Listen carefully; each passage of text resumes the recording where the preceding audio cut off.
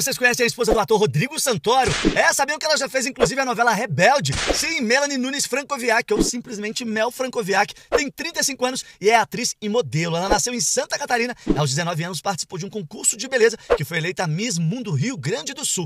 É, e com tanto sucesso nos concursos de beleza, ela deixou de lado a profissão de jornalista, sua formação inicial, e foi seguir a carreira nas passarelas internacionais. E, inclusive, ela foi conhecida mundialmente em 2018, quando foi eleita a mulher com o bumbum mais bonito do mundo por uma marca de lingerie famosa. Em 2011, ela protagonizou a novela Rebelde, versão brasileira, produzida pela Record TV, vivendo a Carla. Da trama adolescente nasceu o grupo Rebeldes, que fechou em cerca de 40 cidades ao longo de dois anos. Em 2012, a Mel conheceu o Rodrigo Santoro enquanto gravava a novela Rebelde, e logo eles engataram um namoro. Mas ó, a relação só veio à tona mesmo no ano seguinte. O casal de atores, inclusive, se casou em 2016 e em maio de 2017 nasceu a filha, a Nina, que hoje tem seis anos.